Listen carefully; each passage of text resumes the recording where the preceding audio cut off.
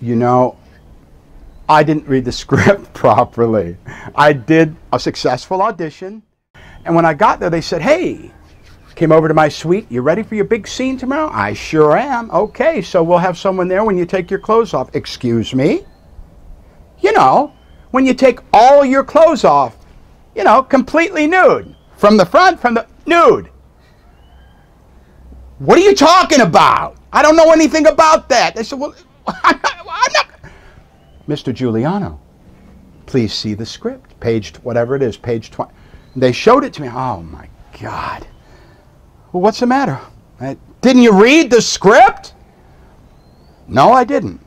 Like any good, healthy, narcissistic actor, I just looked at my part and didn't, you know, read the sort of, he goes to the cupboard, takes out a glass, goes to the fridge, pours some water. No, I just read the, the lines. I didn't read any of the, what they call the business. Ha! So when I got there, they said, well, look, you got to do it. And I said, well, full frontal?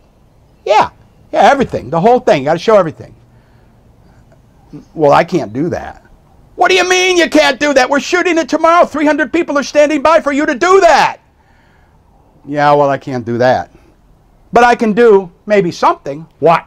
Well, um, wear a robe and show my butt. Oh, no, they'll never go for that. The director has a firm vision that he wants full frontal.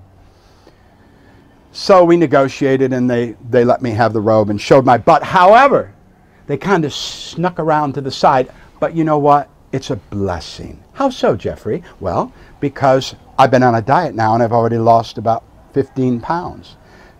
I mean, it's you know the cow's already out of the barn. Everybody on the, if you Google Geoffrey Giuliano's ass on Google, Google Images, well, you can look for half an hour. So I mean, it's a little bit too late, too little, too late, as my mother used to say. But uh, it's it's it's look if you don't lose weight after that, you'll never lose weight you know, being mortified in front of the whole world.